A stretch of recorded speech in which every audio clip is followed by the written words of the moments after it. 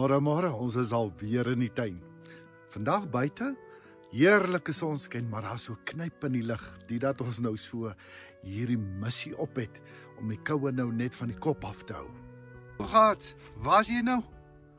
Waar's jy nou? Al wat ek nou kan sien is nou net hierdie boom hier voor my. As ons hierdie kant omloer, dan sien ons daar is ander bome En as ons hierdie kant omloer, dan sien ons daar is die garden shed. Maar wat is agter hierdie boom?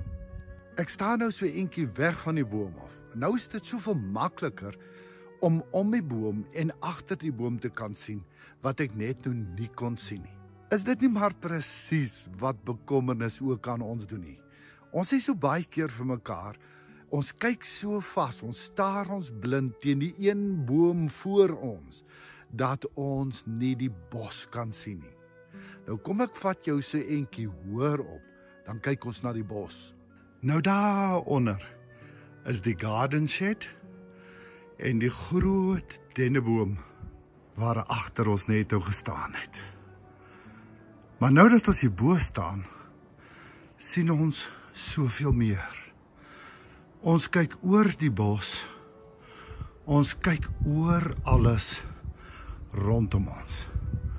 Maar die vraag is, hoekom kan ek en jy nou soveel meer sien? Ek en jy kan soveel meer nou sien omdat ons die plek waarvan af ons gekyk het verander het. En om te kon kom op 'n plek waar ons nou die bos kan sien en nie meer vaskyk teen 'n boom nie, moes ek al die pad opstap met die trappies daarvan onderaf. Dit het my skoon laat hyg na my asem Maar hier is ek nou. En weet jy hier in hierdie lockdown tyd, is dit presies wat gebeur. Ek en jy het 'n klomp bome voor ons waarin ons die heeltyd vaskyk. Dis daar ou sê nou maar vreesbome van. Sê nou maar net ek gaan my werk verloor. Sê nou maar net dit gaan gebeur. Sê nou maar net ons ekonomie gaan in duie stort. Sê nou maar net waar gaan ons geld kry om kos en klere mee te koop? Waar gaan ek geld kry om my huur te betaal?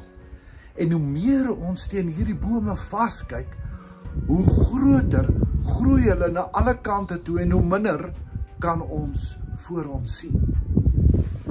Dis daarom dat Jesus ons uitnooi. Want hy vir ons sê, kom kyk hoe lyk dinge vanuit my perspektief. Maar jy sien om dinge te kan sien soos wat God dit sien, soos wat Jesus dit sien, vra dit van my en van jou.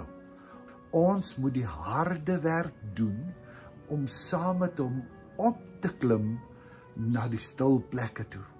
Dis waar Jesus perspektief gekry. Dis waar hy weer gehelp is om te onthou waarvan af hy kom en waarheen hy op pad is. En daaroor nooi hy vir jou en vir my ook uit. Hy sê vir jou en vir my, kom na my toe, jy wat vermoeid en belas is. Ek wil jou rus gee. Maar dan moet ek en jy bereid wees om die harde werk te doen om uit te klim agter die bome wat ons kyk beïnvloed en om op te kom na die hoogtes toe waar ons 'n baie beter plek het om van te sien soos wat God sien, die bos. En om dan te begin verstaan, God is besig met 'n baie baie groter plan.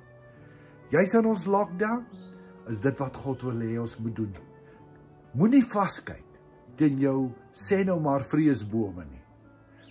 Klim uit en op na hom toe. En dan wys hy vir jou hierdie groter plan, die bos waarmee hy besig is. Mag die Here vir jou ryklik seën. Ons gesels sommer gou-gou weer.